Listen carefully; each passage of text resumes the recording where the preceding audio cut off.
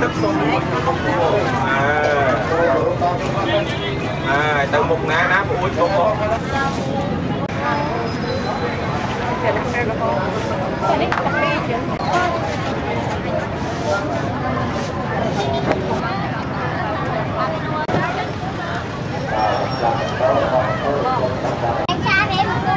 people. I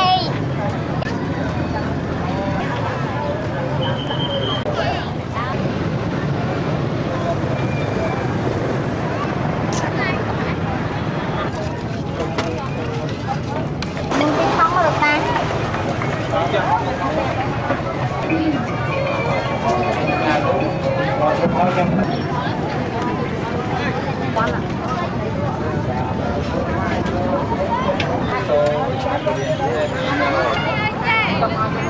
you.